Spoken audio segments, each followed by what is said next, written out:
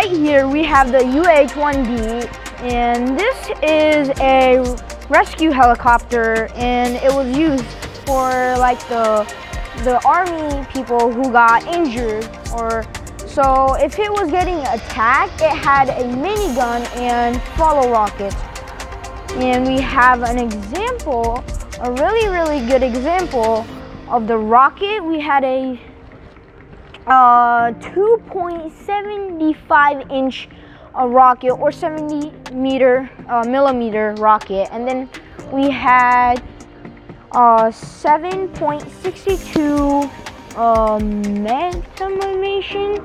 So like this is what they use for the minigun. And these are the rockets. That's a really good example to show it. Plus it's really safe Whoa, it's really cool. So if you look inside, we have miniguns and follow rockets also.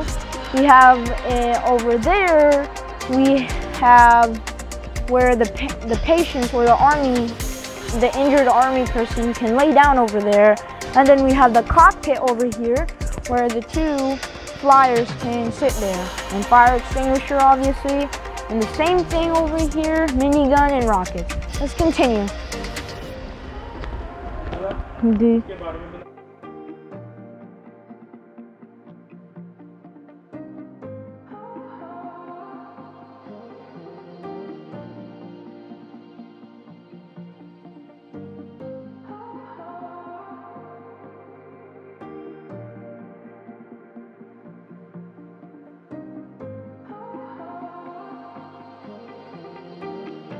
Right here we have the CH-54B, the Sky Crane, Sky Crane.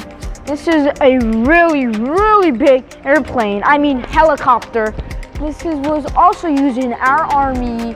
This, the, like the wings, the blades are really, really humongous.